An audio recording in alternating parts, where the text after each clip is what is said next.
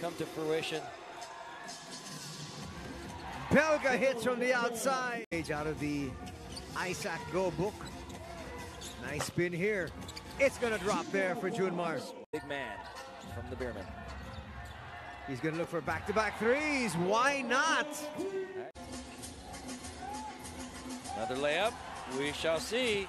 Boom! CJ Perez There get in there. Well, by one of the few deadlocks that we have had here in game number one. Jhonard gets away. Ross to the corner. Trollano for three. Yes. Now you have no more challenges Yep. for the remainder of contest. And Asistio is going to hit from deep. And Ciso, who is always an offensive juggernaut off the bench. Trollano hits.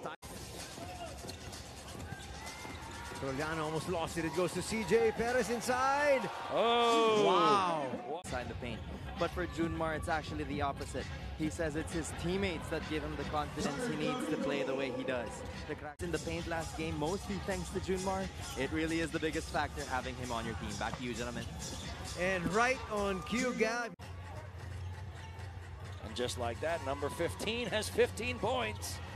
Stepping up his game, especially. Here this entire conference. This guy has had a lot of playing time. One on one. Forcing a Santillan. Datu back inside. Datu sidestepping move. Finishes with the left. Asistio can't get any space. Datu for three. Yes! Shots there from Jericho. Mamuyac, nice handoff for Boran. That was quick. Back to the Kraken. Yeah, they got some Tijan on him now. Very uh, undersized. Only There they go. Clarito on him. Miguel.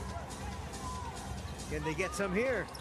Nice sidestepping move, and Don gets to be played here in quarter number three. Santillan finds the open Borboran. Will want a challenge. Wow. Fourth shot will drop. Continues to hang around here as we head into the fourth and final period.